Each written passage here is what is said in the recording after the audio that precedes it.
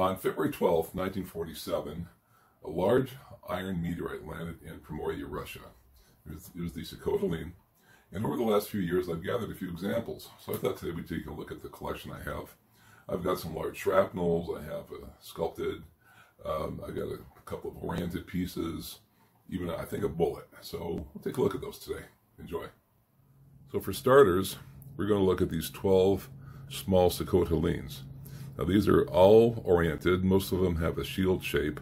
But each has its own little special characteristics. We'll go through these one by one briefly, just to show you what they look like. But these are really cool pieces. Now this piece is kind of special. It's a true bullet. Look at that area right there. This has the classic bullet nose cone shape with all the flow lines. It also has some regnum lipping on the back that'll have the rollover lipping on it. But what makes it really the coolest one is that front shield face and those flow lines right there.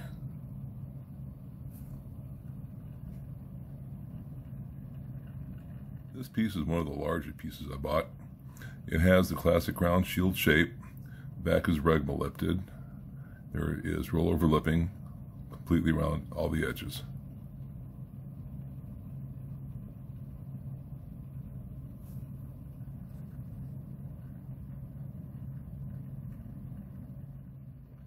Now this piece is a little different from all the others. It has a bullet nose on that tip right there. See it comes around to the left. The rollover lipping is complete around the whole circumference of that tip. There's a lot of rollover lipping on the rest of its body as well. Uh, this piece stands out from the others and it's fairly unique in that respect. It's kind of elongated where the others are more or less rounded. Pretty cool.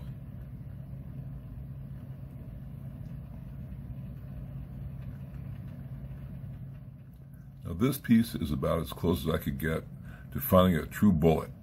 The rollover lipping at the top of the piece is about uh, 25 to 50% around the circumference. It does have the elongated form of a bullet. All in all, it's still a very oriented piece.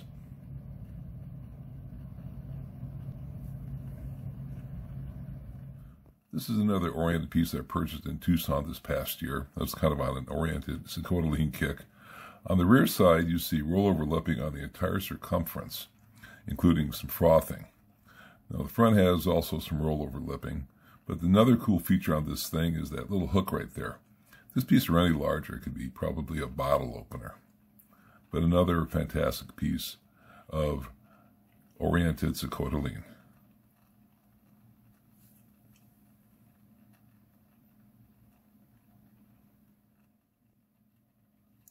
Here's another example of Sikhote Alin showing the oriented shield shape. What's cool about this one is on the back side, there are several regmaglypts that have rollover lipping on every edge.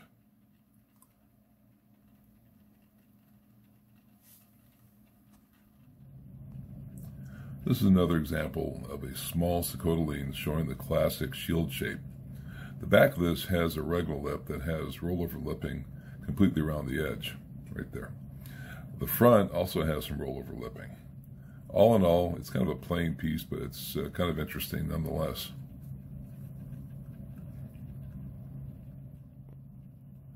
Now this piece is extremely interesting. See that right there? That's a secondary impact crater on the front of the shield. Not only that, but on the back side, where you expect to have some frothing, you not only have the frothing, but there are two secondary impact craters. Here's one on the front side, and it's got the classic shield shape. Apparently, it was in a lot of debris. Now, there's the backside. It does have the frothing. It's got the lipping around the edge. Those two secondary impact craters. This is a very cool piece. This is another oriented piece of Sikhote Alin displaying the classic nose cone shield with rollover lipping on the trailing side. You can see the rollover lipping is 360 degrees around the edge. It also shows the typical foaming on the surface. This is yet another example of a typical oriented Sikhote Alin showing this unusual shield shape. On the back, you see the normal rollover lipping around the circumference and the frothing. What's cool about this piece are those three regmaglypts you see on the rear side. They have formed during the, the entry process through the atmosphere and have sort of melted over. Pretty cool.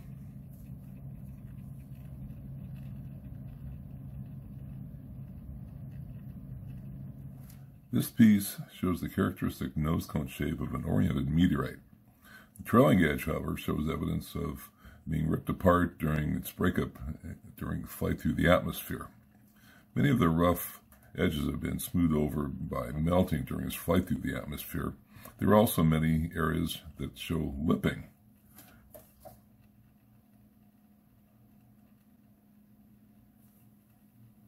This piece has a classic nose cone shape. It has flow lines completely around its circumference. The back displays the frothy trailing edge as well as lipping around the circumference as well.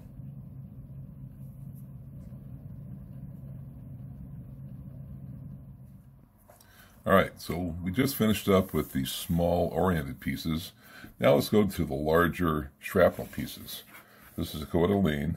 It's 1,417 grams. Bought this back in 2014, I believe. So I've had about eight years. And as you can see, there is some lipping and some melting. A little bit of orientation, but it's kind of a nice big piece. There's a little bit of rollover edge right there. What I really like is this little scoop in here. A little bit of melting right there. But it looks to be a little bit of orientation on this side. You can see right in here the flow lines and a little bit of rollover lipping around this edge. So this is a gorgeous piece. You can't find them like this too much anymore, at least not for the price I got this thing at. Get a little more light on this thing. But yeah, look at the flow lines down in here. This thing is just beautiful. That's how I display it right there.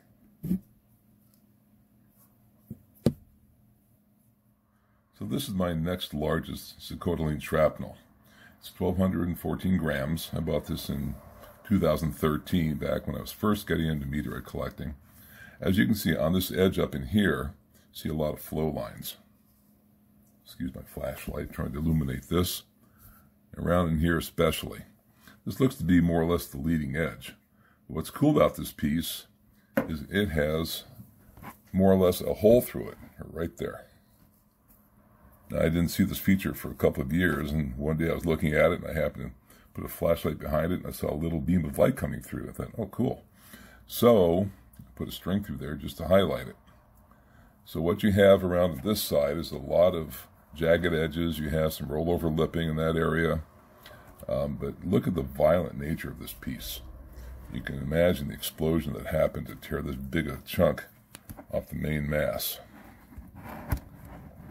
So this was actually a very nice piece, and I got I got lucky when I found this. You see flow lines right here. Side highlight those and kind of accentuate those. But the main flow lines are right here. All this massive flow lines. I thought somebody had taken a grinder to this thing at one time for some reason. Back in my more naive days. But those are flow lines.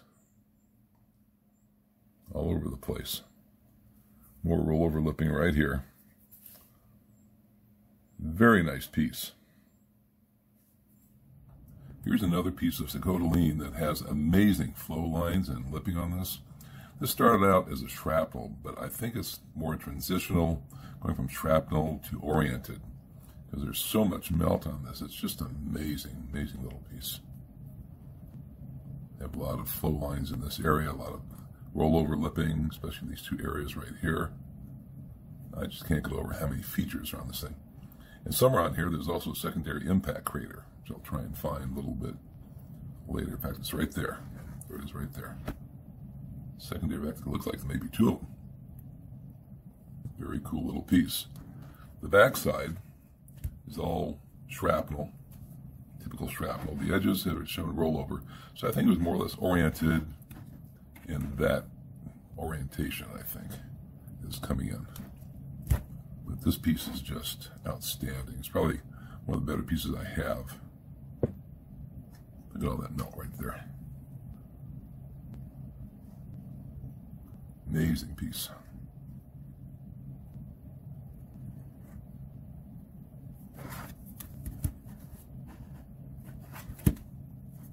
This area right here is probably the best part of the whole thing. Look at all those lines. Amazing. Of course, I had to save the best for last. This is a completely regmaglypted piece of Sikhote Alins, 240 grams. And I bought this back in 2019, so I've only had it about four years. But look at all those beautiful peaks and valleys. Absolutely stunning on this piece. The other side here. It's not a bad angle on the whole thing.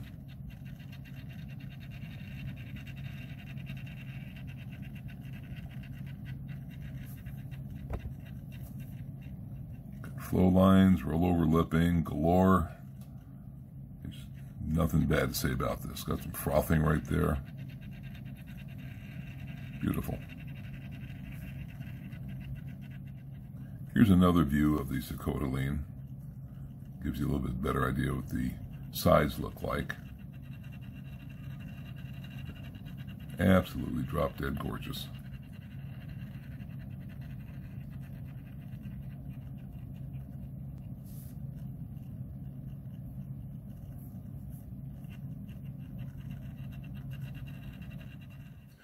Well, there you have it.